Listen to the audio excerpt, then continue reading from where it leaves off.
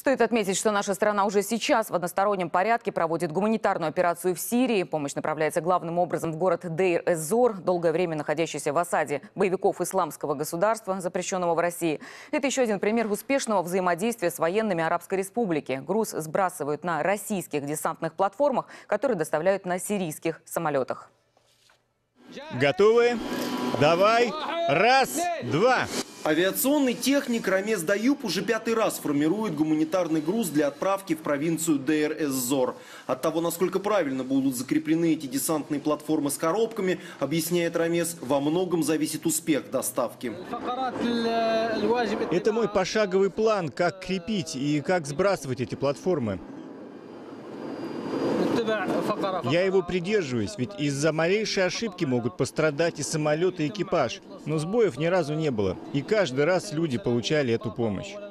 Уже несколько лет провинция Дер-эз-Зор блокирована боевиками, и только одноименный город и несколько районов вокруг него находятся под контролем правительственных войск, которые защищают оставшееся там мирное население.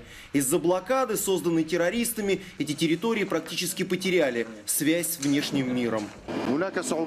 Дейр-эз-Зоре просто катастрофически не хватает продуктов, и люди голодают. Боевики даже пытались перекрыть подачу воды и электричества в этот населенный пункт.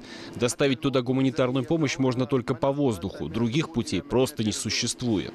На этот раз в блокированный город отправляют только продукты. Два рейса по 30 тонн продовольствия в каждом. Эту гуманитарную помощь собрали Сирия и Россия. За один раз такой транспортный самолет, как Ил-76, может перевести 4 десантные платформы, каждая из которых весит порядка 7 тонн. Это российская часть гуманитарного груза. В этих коробках сухие пайки. Каждый такой рейс в провинцию Дейр-эз-Зор, объясняет командир Ил-76 Насер Аль-Салех, требует от экипажа максимальной отдачи. Проблемы есть и на земле, и в воздухе, поэтому во время полета этот сирийский транспортный самолет сопровождают российские истребители для безопасности. Чтобы груз приземлился в нужном месте, сбрасывать его следует строго определенное время, и постоянно существует угроза нападения на наш самолет. Ведь мы летим на высоте 4000 метров, и у боевиков есть возможность нас обстрелять. Весь полет туда и обратно в среднем занимает два часа. Так было и на этот раз. Достигнув точки сброса, в Ил-76 открыли рампу, и груз на парашютах полетел на землю.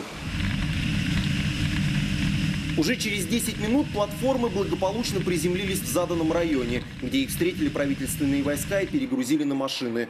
Только в провинцию Дейр-эз-Зор в последние месяцы Россия при помощи сирийских ВВС отправила по воздуху свыше 200 тонн гуманитарной помощи и еще 400 по земле в другие регионы Сирии. На грузовиках доставит и этот груз из России 50 тонн продуктов и медикаментов, в которых так нуждаются сотни тысяч сирийцев во многих населенных пунктах страны. Александр Бутухов, Юрий Шоломов и Гурам Разилов. Первый канал. Сирия.